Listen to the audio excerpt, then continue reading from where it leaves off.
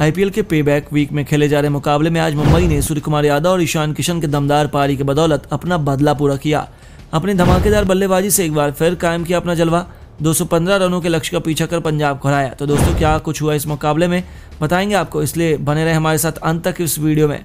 दोस्तों, पंजाब के home ground कहे जाने वाले मोहाली में आज पेबैक वीक का एक मुकाबला मुंबई और पंजाब के बीच खेला गया, जहाँ मुंबई ने टॉस जीतकर पहले गेंदबाजी करने का फैसला किया। जिसके बाद एक बार फिर से मुंबई की गेंदबाजी सामान्य दिखी और इसका फ़ायदा उठाते हुए पंजाब के बल्लेबाजों ने जमकर मुंबई के गेंदबाजों को कूटा।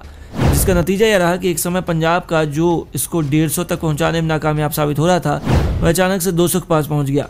आपको बता दें कि पहले दस ओवरों में मुंबई के गेंदबाजों ने लाजवाब गेंदबाजी करते हुए मैच को फंसा कर रखा, लेकिन उसके बाद जैसे ही क्रीज पर लिविंगस्टोन और जितेश शर्मा आए वैसे ही सारा माहौल पलट गया और मुंबई के गेंदबाजों ने अपने पिछले मुकाबले की तरह ही अगले दस ओवरों में एक सौ छत्तीस रन लुटाकर पंजाब का स्कोर 214 के टोटल तक पहुँचा दिया और हमें आईपीएल का एक और 200 से ऊपर का स्कोर देखने को मिला।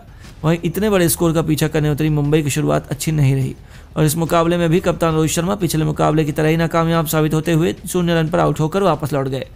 जिसके बाद ग्रीन ने ईशान किशन के साथ ज़बरदस्त पार्टनरशिप की और मुंबई के स्कोर को पावर प्ले में 50 रनों के पार पहुँचाया। लेकिन ग्रीन पिछले मुकाबलों की तरह इस मुकाबले में कुछ ज़्यादा इम्पैक्ट नहीं दिखा सके और नाथन एलिस का शिकार हुए, जिसके बाद सूर्य कुमार यादव ने पूरे मुकाबले को पलट कर रख दिया। और ईशान किशन के साथ मिलकर सौ रनों से ज़्यादा की साझेदारी की, जिसकी वजह से मुंबई एक बार फिर इतने बड़े टोटल का पीछा करने में कामयाब हो सकी।